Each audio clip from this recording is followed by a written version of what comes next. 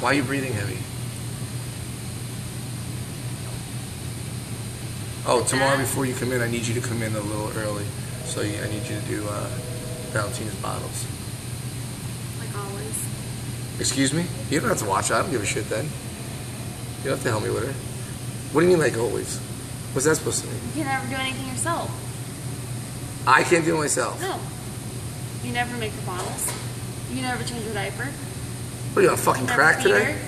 What are you on crack? I never. I never change it.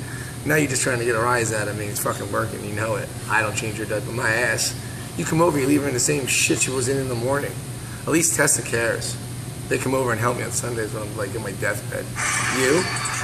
Not you. They came over one Sunday. And last Sunday. Mm, And they brought me Sundays, and I was there too.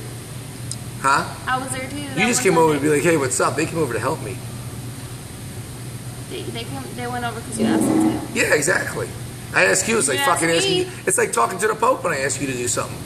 It's like God forbid, you You didn't even try. So Even Megan comes when I ask her. You're the only one. I'm tired. I'm sleeping. Whatever. Ah, you're the only one that I gotta drive 30 minutes to drop my daughter off. Out of the way. Because you're like a no, spoiled. no. You. s- Come on, everybody knows you're spoiled. Instead of you coming to my house, I gotta drive to your house. If you want me to watch Valentina, drop her off at my house. I did not say that. Not with your words, but with your actions. No. You, you, you just, you're spoiled. You, I take care of you too much, and you're like, what the f- I hate when you roll your eyes too. Like seriously, that's like, yeah. Okay, Maranatha. You're like BFS with Maranatha. Mm-hmm.